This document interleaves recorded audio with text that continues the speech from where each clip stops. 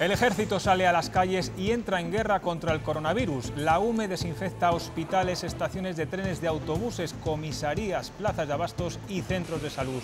Ahí lo ven, son imágenes de esta misma tarde en Burgos, pero también han estado en León y Valladolid. ¿Qué tal? Buenas noches. La Unidad Militar de Emergencias ya está en las calles y trabaja sin descanso para desinfectar todos los rincones de aquellos lugares con más posibilidad de contagio, los que tienen más afluencia de público. 250 militares y 90 vehículos se han desplegado de momento en tres ciudades, León, Burgos y Valladolid. Solo en la capital leonesa han trabajado esta mañana medio centenar de efectivos en el hospital, la estación de tren y los accesos de varios edificios. Mañana continuarán en Burgos. Una imagen atípica y hasta ahora desconocida en democracia con el ejército en las calles. León es una de las siete ciudades españolas con sede de la Unidad Militar de Emergencias que se une a todas las fuerzas de seguridad del Estado bajo el único mando del Ministerio del Interior. Movimiento de vehículos por las calles para comprobar que todos los que salen de casa cumplen con los requisitos que impone el estado de alarma. El dispositivo humano de este quinto batallón de la Unidad Militar de Emergencias en León está conformado por más de medio centenar de efectivos. En principio, labores de vigilancia para comprobar que se mantiene el estado de alarma y a la espera de nuevas eh, órdenes, de nuevas instrucciones que irán llegando en las próximas horas desde la subdelegación del Gobierno. Las zonas de aglomeración de personas serán uno de los puntos de atención para ordenar todos los trabajos de desinfección y tratar así de evitar la propagación del coronavirus. Pero donde hoy está otro foco importante de atención es en las empresas y sobre todo en los efectos que todo esto va a tener en la industria de la automoción en la comunidad. Renault ha confirmado esta misma tarde que cierra sus fábricas mientras dure el estado de alarma. Así lo ha pactado la dirección y los sindicatos. También parará Michelin e Ibeco lo hará al menos los dos próximos días. Es Ibeco Valladolid este lunes sobre las 2 de la tarde.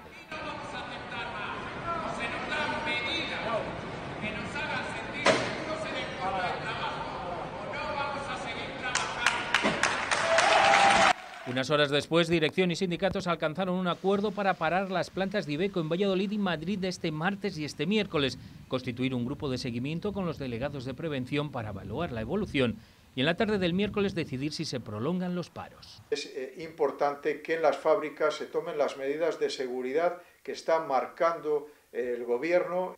Es posible que Ibeco siga el ejemplo de Renault, que tenía previsto solo parar hasta el martes, pero sus plantas seguirán cerradas mientras dure el estado de alarma. Se ha decidido en una reunión en la tarde de este lunes entre el Comité de Intercentros y representantes de la empresa. Se aplicará un expediente de regulación temporal de empleo deben de eh, tener una suspensión temporal y no un eh, despido definitivo porque la medida es coyuntural. Los sindicatos de Renault han pedido que se espere a presentarlo hasta que se conozcan las medidas para la regulación de empleo que apruebe el Gobierno este martes para que se puedan beneficiar de sus condiciones. Una de las primeras grandes empresas que ya ha decidido frenar su actividad es Michelin. Sus cuatro fábricas, dos de ellas en Castilla y León, en Aranda de Duero y en Valladolid, han cerrado hoy. En la comunidad afecta 3.100 empleados. En una de sus fábricas ya ha habido además algún caso de contagio por coronavirus. Tenemos en la planta de Michelin, Valladolid, a su director, Bruno Arias Pérez. Buenas noches. Hola, buenas noches. ¿Esta paralización responde a ese número limitado de contagios que hoy eh, informaban ustedes en un comunicado, a que se lo han pedido los, empleados o es una decisión de responsabilidad del propio grupo?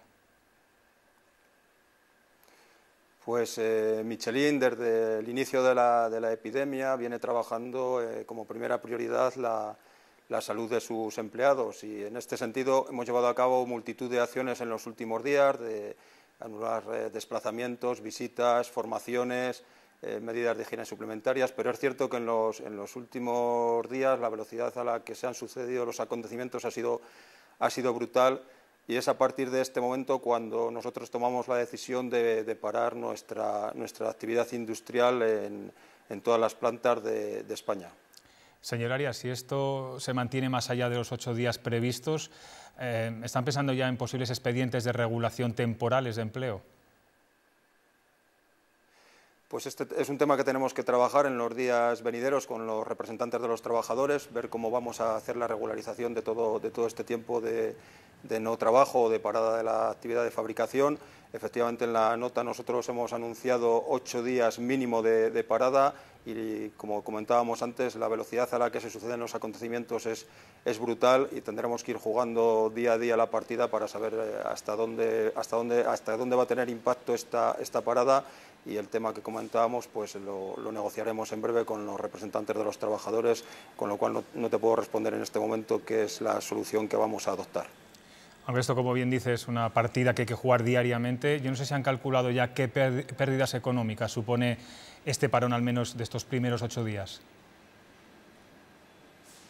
Pues en principio no, nos hemos eh, retenido en el tema económico porque de hecho para parar una fábrica como la fábrica de Valladolid pues el tiempo requerido para hacerlo económicamente rentable sería de 8 o 10 días de, necesidad para, hacer esa parada económicamente rentable y la realidad es que la parada la estamos haciendo en tres, cuatro turnos de trabajo. Es una parada radical porque el objetivo principal es parar cuanto antes para, para que las personas puedan estar en sus casas y protegidas. Las evaluaciones económicas las tendremos que hacer a, posteriori, pero bueno, efectivamente serán, serán importantes, pero no es nuestra prioridad. En este momento nuestra prioridad es proteger a las personas que trabajan en la fábrica y a todos sus familiares. ¿Estaban notando ya menos eh, pedidos de sus proveedores estas últimas semanas?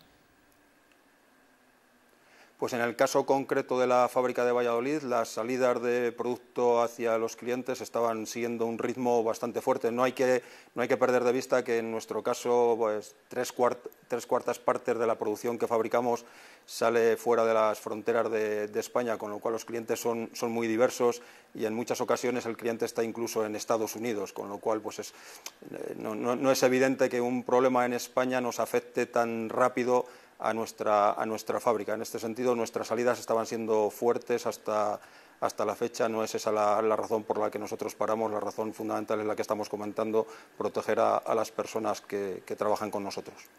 Eh, mañana en el Consejo de Ministros aprobará una andanada de medidas económicas ante el parón económico. La mayoría, todo hace indicar que será para beneficiar a autónomos. Eh, ¿Qué le pide usted al Gobierno? ¿Qué le pide desde su sector? Bueno, pues eh, efectivamente yo creo que el Gobierno está actuando, pues como, todos, con, la, celeridad en la que se van desarrollando los acontecimientos. Yo creo que van tomando en cuenta las necesidades que vamos teniendo las empresas y los autónomos y yo creo que lo, que le podemos pedir es que nos ayuden y que colaboremos ellos y nosotros y todos los ciudadanos a atajar el problema lo antes posible, a erradicar el problema lo antes posible para al objeto de recuperar la marcha normal pues lo antes posible también, que yo creo que es lo que deseamos todos, tanto gobierno como empresarios como, como ciudadanos. Pues Bruno, Bruno, Arios, director de la fábrica de, Michelin, de la planta de, Michelin, muchas gracias por atendernos y, bueno, eh, nos despedimos con esa reivindicación y ese mensaje que, que lanza el Gobierno de la Nación. Gracias. Gracias a vosotros, gracias. Por otro lado, los, supermercados y las empresas logísticas llevan varios días avisando de que no hay problema de abastecimiento de alimentos y que los productos están garantizados. Es lo que aseguran desde mercados centrales como este en Valladolid. Distribuyen fruta, hortalizas y pescado. Solo este fin de semana han descargado allí más de medio centenar de camiones de alimentación que luego será trasladada al comercio minorista. Y a este ritmo van a seguir las próximas semanas. Nos garantizan que no habrá problema de suministro. Sin ir más lejos, ayer casi se recepcionaron más de un millón de kilos de frutas y hortalizas que garantizan un abastecimiento eficiente a la población de Valladolid y su área de influencia. Mientras en algunos centros de trabajo paran, cierran o toman medidas preventivas, en otros parece que lamentablemente todo sigue como siempre. Es el caso de los call centers, donde los sindicatos denuncian la ausencia de medidas de seguridad y de prevención. Ni distancia de seguridad ni medidas de prevención. Los trabajadores de Conecta piden seguridad en el trabajo ante la alerta sanitaria. Que se quería trabajar como siempre. Hay muchos trabajadores que se han negado a trabajar, han dicho que en estas circunstancias pues que ellos no se pueden sentar a 50 centímetros de otro compañero, de otra trabajadora, que, no se está respetando un poco eh, su salud que requieren unos cascos, eh, también personales, porque no hay ni equipos de protección individual individualizados. Además, denuncian que las alternativas propuestas por la empresa son a costa del trabajador. Han estado facilitando eh, el que los trabajadores se vayan, es decir, con eh, adelanto de vacaciones, adelanto de solicitar excedencias y que se le concedan, entendemos que la cuestión es, es una cuestión de ajustar el espacio a la situación de crisis que estamos actualmente y la empresa no lo hace. En una hora punta pueden concentrarse hasta mil trabajadores, algo que ahora mismo es todo un riesgo. Básicamente lo, que, eh, lo más importante que se requiere es la distancia entre unos trabajadores y otros, se habla que haya una distancia mínima, no de 50 centímetros, es decir, mínimo un metro, metro y medio, que haya un puesto vacío entre unos trabajadores y otros, eso la empresa no lo puede garantizar porque el volumen de, de trabajadores que hay eh, pues es muy superior. Han denunciado la situación a la inspección de trabajo, mientras siguen a la espera de una respuesta por parte de la empresa. Mientras tanto, la Junta de Castilla y León trata de adelantarse a lo que va a ocurrir en muchas empresas a partir de ya, con el consiguiente despido de muchos trabajadores. Esta mañana se ha reunido la Mesa del Diálogo Social por videoconferencia y han adoptado medidas para facilitar la tramitación de expedientes laborales.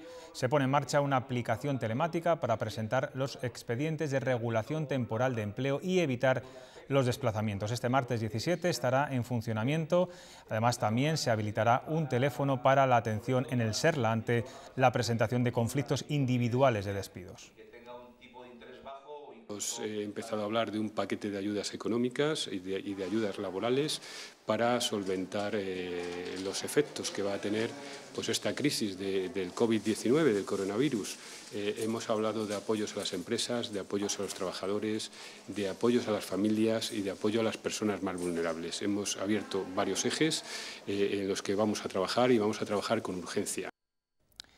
Y desde hoy a las 12 de la noche, España cerrará sus fronteras terrestres para frenar la propagación del coronavirus y evitar contagios procedentes de personas que vengan de fuera de España. Madrid, Álvaro Lúa, ¿en qué consiste esta nueva medida?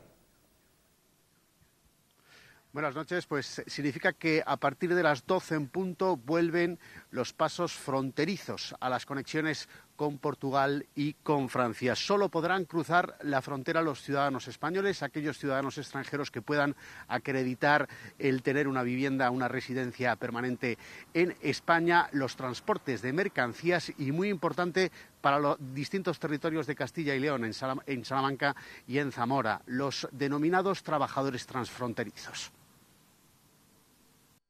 A partir, y les indico, a partir de las cero horas de esta noche y hasta que concluya la declaración del estado de alarma, solo se permitirá la entrada en territorio nacional por vía terrestre a los ciudadanos españoles, a los ciudadanos residentes en España también, a los trabajadores transfronterizos. Importante la protección de las condiciones sociolaborales del conjunto de ciudadanos. Estos controles en las fronteras llegan el día en el que España ya supera los 9.000 infectados. Los casos positivos son ya, en concreto, 9.191 en todo el país.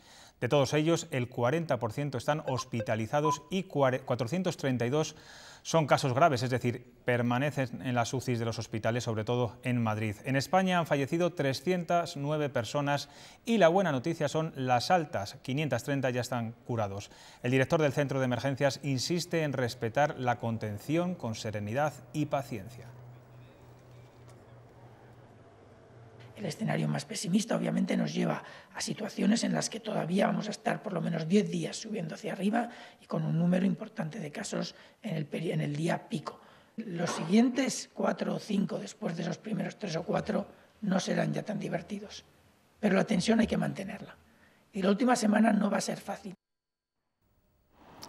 Y Castilla y León registra 334 casos, 50 más que en el último informe del Ministerio. Hay 34 pacientes en la UCI y 5 personas han sido dadas de alta, 3 más que ayer.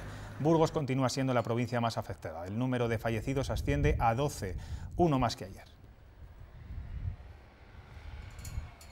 La Organización Mundial de la Salud anima a todos los países a que aumenten el ritmo de pruebas para detectar el coronavirus y ha advertido que una vez pasada la enfermedad, la cuarentena debe continuar durante al menos 15 días más. Los infectados de coronavirus aún pueden contagiar a otros después de superar la enfermedad, por lo que su aislamiento debe prolongarse al menos dos semanas más. Necesitamos conocer más datos de contagiados para frenar la pandemia, por lo que a los países afectados les pedimos que hagan pruebas. Como ya saben, y hay que reiterarlo, tampoco se puede salir a la calle por excepciones, salvo excepciones justificadas. Es la mejor medida para evitar la propagación del coronavirus. En las últimas horas estamos viendo ciudades prácticamente vacías, aunque todavía quedan algunos irresponsables. Sepan que si saltan las normas de, salen a la calle, se juegan una multa. Se han intensificado los controles policiales. Quienes incumplan el confinamiento se enfrentan a multas de entre 100 y 600 mil euros, incluso a penas de hasta 18 meses de prisión por desobediencia a la autoridad. Desde ayer la Policía Municipal de Valladolid ha puesto dos sanciones. También sabemos que en las últimas horas han sido multados ciudadanos de Zamora, Salamanca y Burgos. De momento nos dicen los agentes que su principal misión es vigilar la ciudad e informar. Si ven a personas caminando por la calle sí que pueden preguntarles el motivo y si están incumpliendo el estado de alarma, entonces sí llegarían las multas. Si voy a multiópticas a comprarle multiplim de las lentillas para mi abuela. Es una de las pocas excepciones. Los demás en casa, si se quiere evitar una multa. Todo el que no se tome la situación en serio lo pagará. Y no es precisamente barato. Y después porque tenemos que ser respetuosos, sobre todo con, con la mayoría de la población que está cumpliendo las restricciones porque ha entendido la gravedad de la situación. No valen paseos ni fingir que se va a trabajar, sacar al perro o comprar comida, pero con una condición. Tener tiempo imprescindible, ¿vale? Lo que tardéis cogerlo y ir a casa. Hoy en Zamora se ha registrado la primera detención y ayer en Valladolid también se llamaba al orden a una pareja que paseaba. También en Salamanca se producían las primeras advertencias. Y no se puede pasear, que lo sepan, no se puede pasear. No se puede pasear, esto es muy serio, esto están muriendo personas, muchas aunque la gente en general está cumpliendo las restricciones. La gente se ha creído ya que lo que se les dice no es broma, que estamos pidiendo algo que es fundamental. Las sanciones no se harán oficiales hasta el fin del confinamiento, puesto que los procesos administrativos están detenidos, pero avisan, las multas serán proporcionales a la gravedad de la situación. Una sanción leve puede ir de 300 euros a una grave que estamos hablando ya de 600.000 euros. Es evidente que el periodo de aislamiento será difícil, pero estas medidas de responsabilidad ayudarán a que sea lo más corto posible. Las imágenes de las calles vacías de las ciudades eran impensables hace solo unos días. Impacta ver la falta de gente y de actividad en un día de diario como hoy. Así, totalmente desérticas han estado la mayoría de las calles y plazas de la comunidad. Están viendo algunas del centro y de, barrios de Palencia.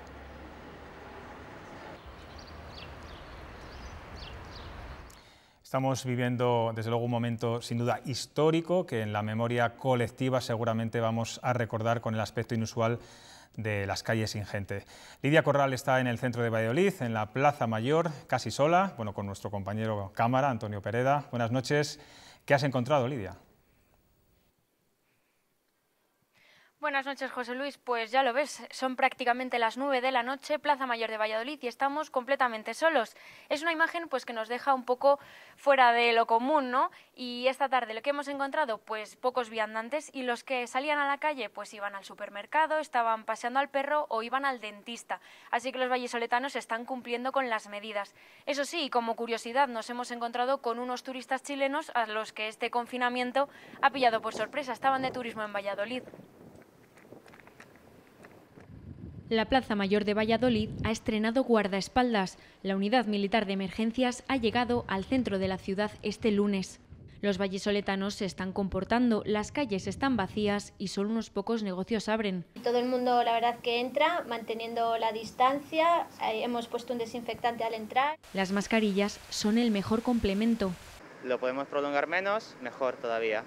En el supermercado, la histeria de días atrás ha ido relajándose, aunque hay objetos difíciles de encontrar. No hay casi nada, papel higiénico yo sigo buscando aún, aún así y nada. Tenemos que ir por las mañanas a hacer cola para, para, para tenerlo, que si no luego por la tarde no hay nada. El cierre ha pillado por sorpresa a estos turistas chilenos. Llevamos como una semana. Se hospedan en un hotel hasta el día 20, la fecha prevista de su vuelo. No nos ha dicho nada la, la compañía, así que supongo que está funcionando.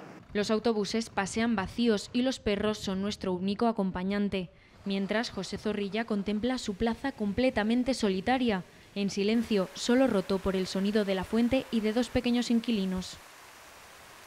Pues no solo las calles están vacías, el estado de alarma también se ha notado desde primera hora en el transporte. Las estaciones de tren se encontraban prácticamente vacías y con pocas llegadas de vagones. Los autobuses casi no llevaban viajeros y las carreteras de las ciudades amanecían sin tráfico. Una estampa inusual para un lunes como el de hoy laborable. Esta es la imagen que se repetía en muchos buses interurbanos de Valladolid. Es una línea que normalmente movemos entre 500 y 600 viajeros en una mañana y un día como hoy podríamos llegar hasta pasar de los 700. Ya no se puede pagar el trayecto con efectivo y también se han tomado medidas de seguridad para proteger a los conductores. Tienen que entrar por detrás, la puerta de atrás y no se pueden acercar aquí. En Burgos el servicio municipal de autobuses se ha reducido a un 25% y en León se ha suprimido. En la estación de autobuses de Valladolid las pantallas estaban apagadas. Había buses aparcados pero apenas rastro de viajeros. Normalmente suele venir más gente sobre todo algunos estudiantes que vienen los lunes para pa Valladolid. Los trayectos y los horarios se mantenían, pero sin apenas usuarios. No ha subido nadie hoy, nadie. De los dos recorridos que llevo, nadie. Prácticamente vacía también la estación de Renfe, estampa inusual para un lunes laborable donde apenas había tránsito de viajeros, trenes cancelados y servicios de media distancia reducidos a un 50%. También se tomaban las medidas de higiene necesarias. Los coches particulares también han reducido su afluencia en la carretera. Los que hay son los residentes que no se mueven normalmente, de tickets poquitos. De momento el servicio de hora en Valladolid sigue en funcionamiento. En el caso de Burgos se ha establecido su gratuidad y en León se ha suprimido. En el transporte urbano son los ayuntamientos los que deciden qué hacer y en cada ciudad se está llevando a cabo medidas diferentes. Falta cierta uniformidad. En Palencia, por ejemplo, se ha suspendido completamente. Todas las líneas de autobuses se cancelan y dejan de funcionar. El ayuntamiento palentino ha tomado esta decisión porque aseguran que estos vehículos son un foco importante de transmisión. Esta es la distancia de seguridad. Ya lo escuchan, son algunas protestas que ha habido esta mañana en la estación de Atocha, en Madrid, después de ver este colapso en, una hora punta en uno de los trenes de cercanías. Pero había un motivo, una avería en la estación del Príncipe Pío que sí provocó una concentración de viajeros en varias estaciones con especial incidencia en la de Atocha. Los mercados financieros siguen sin levantar cabeza, es más, profundizan en las pérdidas. El IBEX 35 ha caído casi un 8% este lunes después de corregir en el tramo final un desplome de más del 12%. En ello ha influido el anuncio de las autoridades europeas de vigilar los movimientos especulativos. El petróleo está en mínimos de los últimos 16 años y el oro ha perdido ya un 13% de su valor.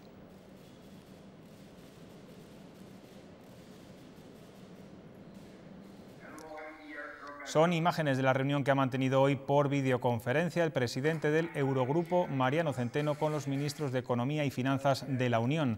Se trataba de dar una respuesta coordinada a la crisis y medidas económicas en forma de liquidez a las empresas. Otra medida que acabamos de conocer es que será necesaria la autorización previa para exportar equipos de protección médica.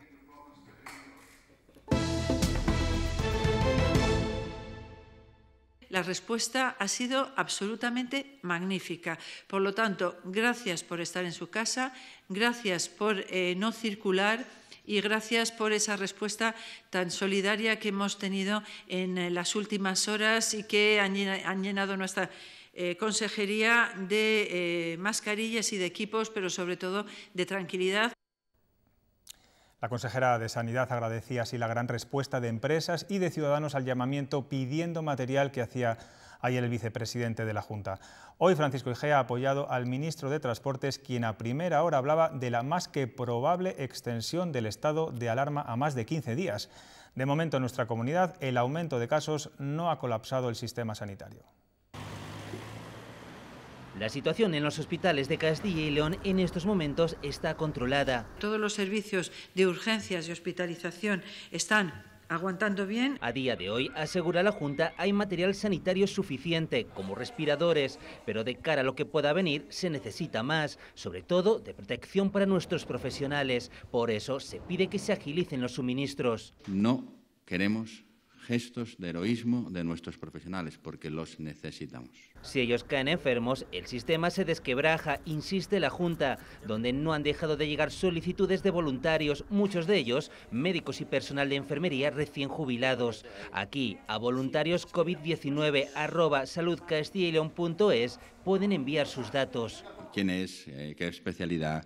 Eh, ¿Cuántos años de experiencia? Y, y dónde tiene? Para que nosotros podamos eh, disponer de ello. Desde el Gobierno regional se insiste una y otra vez. Podemos decirlo más alto, podemos decirlo más claro, pero está claro que el aislamiento social sigue siendo la medida más importante. Aislamiento e higiene. Solo así se podrá parar el crecimiento de la curva de contagios, aunque la Junta cree que para su pico podrían faltar hasta cuatro semanas. La cuarentena por el coronavirus está obligando a paralizar algunos procesos en marcha y hay uno que afecta a las familias con hijos. Educación ha suspendido el plazo de solicitud de centro que comenzaba el 20 de marzo. La medida también afecta al proceso de admisión de escuelas infantiles y a otros administrativos como la inscripción en las oposiciones al cuerpo de profesores de secundaria. También la suspensión de las clases por el coronavirus afecta muy de lleno a los alumnos de segundo de bachillerato que en junio tienen que eh, examinarse de la EBAU. Mañana el Ministerio, las comunidades autónomas y la Conferencia de Rectores estudiará la posibilidad de retrasar la prueba de acceso a la universidad.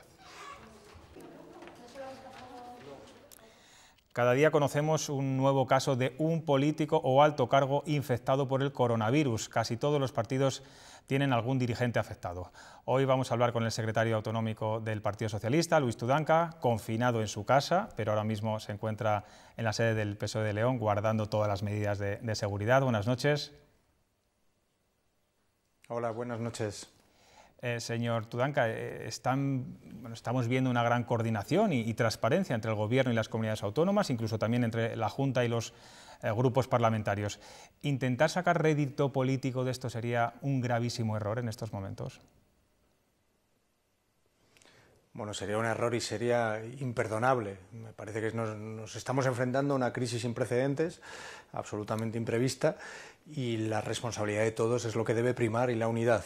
Así que es de agradecer el respeto, la coordinación y la unidad institucional eh, y desde luego yo quiero agradecer también expresamente la coordinación y las facilidades, la transparencia y la información que nos está facilitando el presidente de la Junta, el señor Mañueco, su coordinación y su lealtad con el Gobierno de España y también el trabajo que están haciendo muchísimos ayuntamientos eh, que están haciendo una labor absolutamente imprescindible para garantizar que el cumplimiento de las medidas de seguridad del Real Decreto del estado de alarma se están cumpliendo en toda la comunidad pero los más responsables están siendo, creo que los ciudadanos, que, se los están tomando muy en serio como requiere la situación. Y en este ámbito político, ¿qué le parece en estos momentos eh, que Cataluña se revele contra el mando único del, Gobierno para atajar esta crisis? Bueno, no, tiene sentido y se lo dejó muy claro también la ministra de Defensa ayer al presidente de la Comunidad Autónoma de Cataluña. Eh, no es el momento no es el momento, no, es, no era el lugar tampoco y desde luego me parece que los ciudadanos catalanes están muy, muy por delante, muy por encima en cuanto a criterios eh, éticos y responsabilidad que algunos de sus dirigentes, lamentablemente, pero es la excepción. Es la excepción. La unidad de todos los responsables institucionales, de todos los partidos políticos, creo honestamente que está siendo ejemplar y, desde luego me parece que es lo que más podemos aportar. No es el momento ni de siglas, ni de partidos, ni de debates. Es el momento de poner todo el Estado, todo lo público y también lo privado para hacer frente a esta crisis y ponerlo detrás del Gobierno de España, que es quien tiene que coordinar eh, todas las, medidas oportunas. ¿no? Si lo hacemos, las consecuencias de esta crisis desde el punto de vista sanitario, pero también desde el punto de vista social y económico, serán eh, menores y lo resolveremos en el menor plazo posible. Es la única manera de hacerlo, así que los llamamientos tienen que ser siempre a la unidad y a la responsabilidad de todos y de todas. Si la Junta pide, más, eh, pide medidas más restrictivas al, Gobierno eh, en todo lo referente al transporte y la movilidad de los ciudadanos, ¿usted las comparte? Bueno, se han ido intensificando estas medidas ¿no? y seguramente, según vaya evolucionando la crisis eh, sanitaria y, veamos los efectos de, todas estas medidas, haya que ir afinándolas. ¿no? Eh, estamos viendo eh, que la situación es nueva, que las soluciones no son claras siempre, pero la mejor manera es eh, el debate que se está produciendo también, responsable, para ver cuáles son las medidas más eficaces. ¿no? Estamos viendo cómo los ayuntamientos efectivamente toman medidas no siempre exactamente iguales, bueno, buscando la mejor de las soluciones y la más rápida, ¿no? la, la más eficaz. Eh, me parece que la restricción del transporte, la que la gente se quede en sus casas, que vayamos afinando también el funcionamiento de la parte de los sectores productivos que tienen que seguir funcionando, porque el país los necesita. Hoy era el primer día laboral después del decreto de estado de alarma y ha habido también algunas disfunciones en algunos sectores, en algunas empresas y fábricas. Eh, que hay que ir afinando, ¿no? pero eh, me parece que estamos respondiendo como país, insisto, de forma, de forma ejemplar. ¿no? hay muchos trabajadores y trabajadoras de muchos sectores, profesionales sanitarios los primeros, pero también trabajadores de los sectores de alimentación, eh, miembros de los cuerpos y fuerzas de seguridad del Estado, muchísimos que están teniendo que trabajar, periodistas, que, que es un servicio también esencial para la información de la población eh, de los que creo que nos tenemos que sentir también orgullosos, pero todo lo que no sea imprescindible en el transporte, en los sectores productivos, eh, tiene que restringirse al máximo para garantizar la contención del virus. Eh, por último, visto lo visto, ¿se equivocó, ¿se equivocó el Gobierno de la Nación convocando la manifestación del 8 de marzo? Bueno, el Gobierno de España no convocó la manifestación del 8 de marzo, fueron eh, miles y miles de colectivos en toda España, ¿no? pero mm, creo que el momento eh, de analizar qué se pudo hacer cómo se pudo hacer eh, mejor llegará, ¿no? Pero estamos viendo como en otros países, eh, hoy mismo o ayer mismo, cuando eh, ya la situación en varios países europeos está siendo mm, dramática, está siendo muy complicada, están haciendo vida absolutamente normal, ¿no? Probablemente concienciar sobre la gravedad del virus eh, era complicado, ¿no? pero las decisiones que está tomando el Gobierno de España, aquella y todas las demás, han estado siempre, siempre, siempre de acuerdo con los criterios científicos, técnicos de los eh, expertos, como debe ser. Eh, yo quiero también poner eh, de manifiesto que todas estas decisiones que se están tomando para contener el virus eh, y la emergencia sanitaria, que es lo prioritario, evidentemente van a tener consecuencias sociales y económicas. Y eso también tiene un efecto en la gente. Estamos viendo o nos estamos dando cuenta o se está visibilizando la situación de muchas personas en riesgo de exclusión, que viven solas, personas mayores con discapacidad, que no pueden valerse por sí mismas y que en estas emergencias, en estas situaciones, requieren de lo público, del Estado. Por tanto, todas estas medidas tienen que compaginar las dos cosas, la contención sanitaria y también la responsabilidad social y atender a todos estos colectivos eh, vulnerables. El equilibrio está siendo complicado de encontrar, pero honestamente creo que la respuesta de las administraciones hasta el momento está siendo correcta y, eficaz. ¿no? Y, la comunicación y el debate interno está fluyendo, el contacto, desde luego, que estamos teniendo entre los grupos parlamentarios, con el Gobierno de la Junta, con los ayuntamientos y con el Gobierno de España, está siendo permanente y las, eh, las cuestiones que detectamos o que se pueden mejorar, bueno, creo que debemos hacerlo de forma interna para tampoco eh, generar ningún debate innecesario. La prioridad hasta ahora solo es una, que es la contención de la crisis. Pues muchas gracias, eh, Luis Tudanca. Esperemos que los políticos recuperen sus agendas pronto, porque eso será bueno, pues síntoma de que todo vuelve a, la normalidad. Gracias. Muchísimas gracias a ustedes por, por, su trabajo también y la información que están, el servicio público están prestando. Gracias. Bueno, como decíamos antes, la lista de, políticos contagiados eh, del COVID-19 no para de crecer cada día, sus agendas están repletas de encuentros con mucha gente, es un caldo de cultivo perfecto para la propagación hasta que el Gobierno ha decretado la cuarentena social y la actividad política también se ha frenado. Los últimos contagiados, los presidentes autonómicos de Madrid y de Cataluña. El presidente de la Generalitat catalana, Quim Torra, es un contagiado más del coronavirus en España. M'he fet el test del Covid-19 que ha donat positiu de la malaltia. Así lo comunicaba en Twitter después de conocer que su vicepresidente Pere Aragonés había dado positivo. También a través de redes sociales, la presidenta de la Comunidad de Madrid ha hecho público que tiene coronavirus. Ayer durante una entrevista acabé tosiendo y por eso repetí las pruebas y cuidar así de mi entorno laboral. En este caso di positivo. En el Gobierno son varios los miembros en cuarentena después de conocer el positivo de la ministra de Igualdad, Irene Montero, y de la mujer del presidente, Begoña Gómez. Este lunes, Moncloa anunciaba que Pedro Sánchez ha dado negativo en el test, mientras hay otra ministra más infectada, Carolina Darias. Desde casa, desde este aislamiento que ya llevo hoy el cuarto día, quiero mandar un mensaje de positividad, Hace una semana vimos a la titular de Política Territorial estrechar la mano del consejero de Presidencia de Castilla y León, Ángel Ibáñez. Días después fue el primer caso confirmado dentro del gobierno de la Junta. En el PP, Ana Pastor y en Vox, Abascal Ortega Smith o el concejal de Valladolid, Javier García, también son bajas confirmadas. Si algo está demostrando esta pandemia es que el COVID-19 no entiende de siglas. No habrá elecciones el 5 de abril ni en el País Vasco ni en Galicia. Así se ha decidido hoy en, en, ambas autonomías con el respaldo de todos los partidos. Coinciden en que la pandemia y el estado de alerta impide que se pueda votar con suficientes garantías para la salud y con condiciones para ejercer plenamente el derecho de sufragio.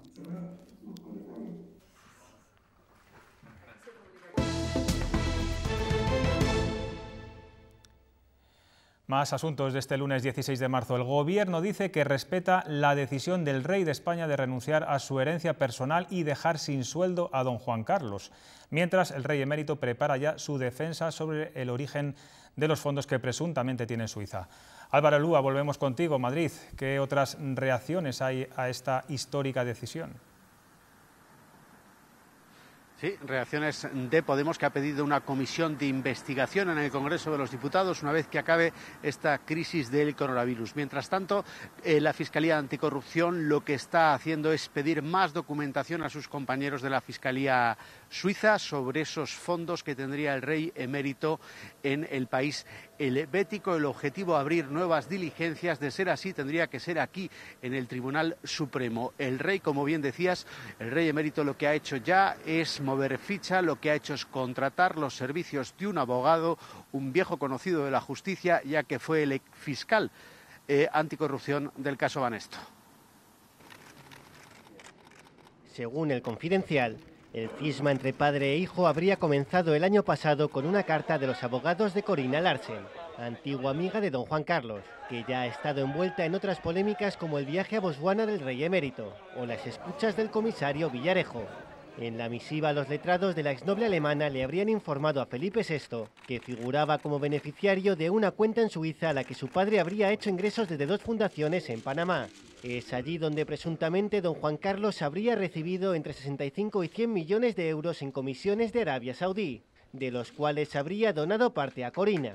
Zarzuela remitió en marzo del año pasado esa carta a las autoridades. La publicación de esta información el sábado por el Telegraph británico ha provocado que Felipe VI renuncie a la herencia personal y que además haya dejado a su padre sin su sueldo público. La decisión nos parece respetable, es una decisión personal del rey, sin duda una decisión contundente. Por su parte, el rey emérito ha contratado a Javier Sánchez Junco como su abogado defensor. Es un exfiscal de la Audiencia Nacional, que en su día se encargó de procesar a Mario Conde. El escándalo está ahora en manos de la Fiscalía Suiza. Aleya Rosas en Soria continúa funcionando gracias a sus trabajadores. Lo hacen a pesar de la crisis y de no tener resuelto aún su futuro.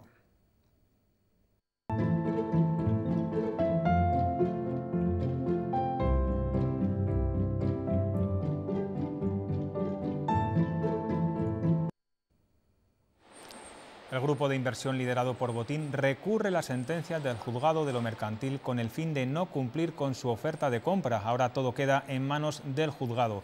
Los sindicatos piden que se dé solución al problema lo antes posible y son conscientes de que una segunda vuelta abarataría el coste de la factoría.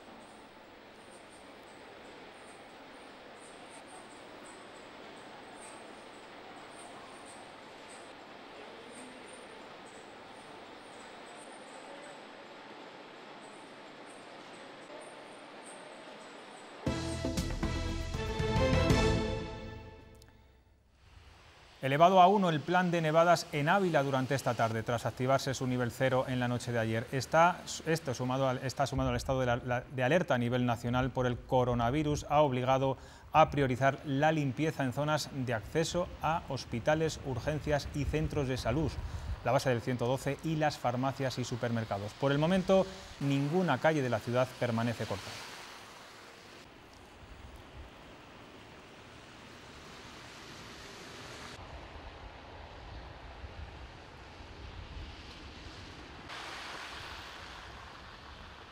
Nieve también amanecía la provincia de Segovia, provocando importantes complicaciones en algunas carreteras de montaña.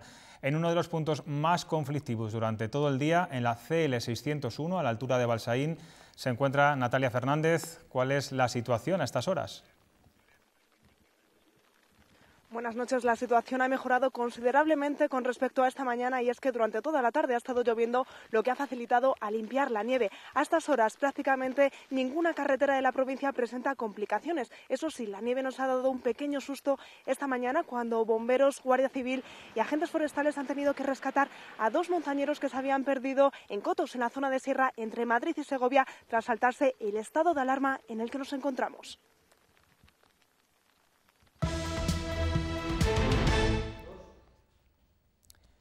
Tercer día de estado de alarma en nuestro país y el mundo del deporte sigue totalmente paralizado. De hecho, ahora la incertidumbre es máxima a expensas de cómo va a evolucionar esta crisis del coronavirus. Javier Mardones, buenas noches. Mucha gente se pregunta, por ejemplo, ¿qué pasará con la Liga?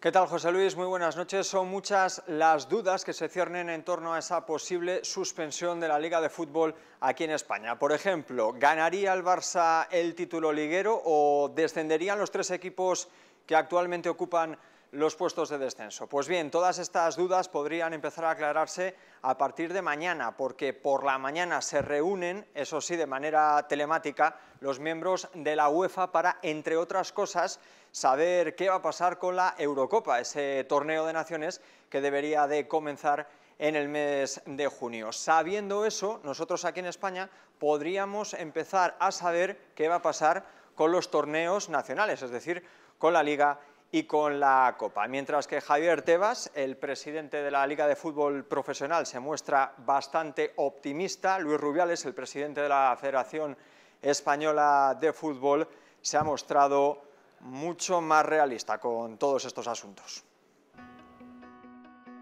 Con Europa sumida en el caos por el coronavirus, el mundo del fútbol está pendiente de la decisión que adopte la UEFA este martes. Y es que el desenlace de los campeonatos de liga va a depender del aplazamiento de la Eurocopa. Lo que parece seguro es que el torneo continental no va a arrancar el próximo 12 de junio en Roma.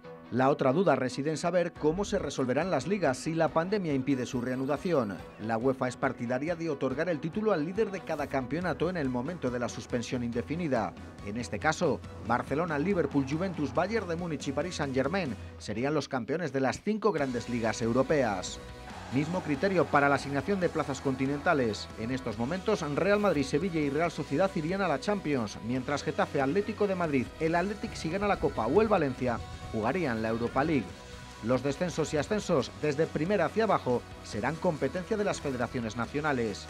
Hay que afrontar siempre el futuro con ese optimismo, pero también saber que, hay que tener los pies en el suelo y que puede haber un escenario muy muy complicado, que esto se expanda mucho más tiempo del que queremos y por eso vamos a dar respuestas pronto.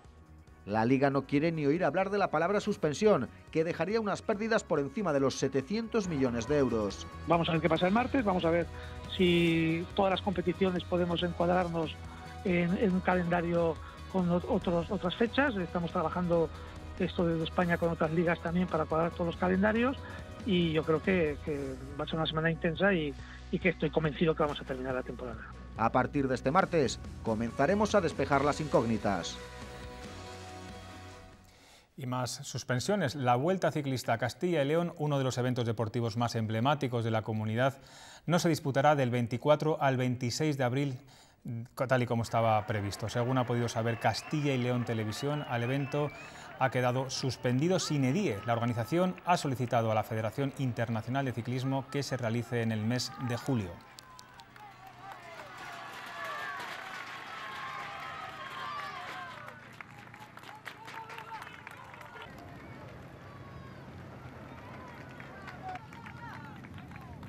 Idea nuestra en principio es cambiar las fechas para el mes de julio, coincidiendo con el final del Tour de Francia, más o menos, para ese fin de semana que finaliza o la semana siguiente.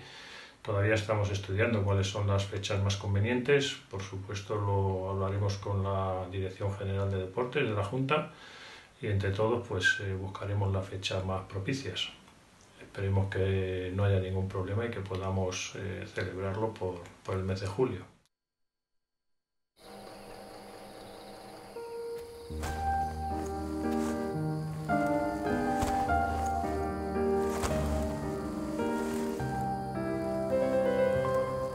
Dar el mejor descanso a las vacas es uno de los requisitos fundamentales para la obtención del certificado de bienestar animal. Y eso sucede en todas las granjas con las que trabajamos en Leche Pascual. Porque cuanto mejor esté la vaca, mejor será la leche. Leche Pascual de Bienestar Animal. Dar lo mejor. Cada día se suma más gente, el aplauso es más fuerte y más sonoro. Hoy también a las 8 de la tarde muchos vecinos han salido a las ventanas y balcones de toda la comunidad para homenajear y dar aliento al personal sanitario que lucha contra el coronavirus. Mañana volverán a salir. Y hoy queremos acabar este informativo con un vídeo de las trabajadoras del clínico de, de, Valladolid que agradecen el apoyo de la gente desde sus casas con esos aplausos que veíamos, con música y esta pequeña coreografía le daban las gracias a la gente que se queda en sus casas para facilitarles el trabajo. En unos minutos, en Más que Palabras, abordaremos los posibles problemas laborales que se prevén en muchas empresas por la crisis del coronavirus. Hasta mañana.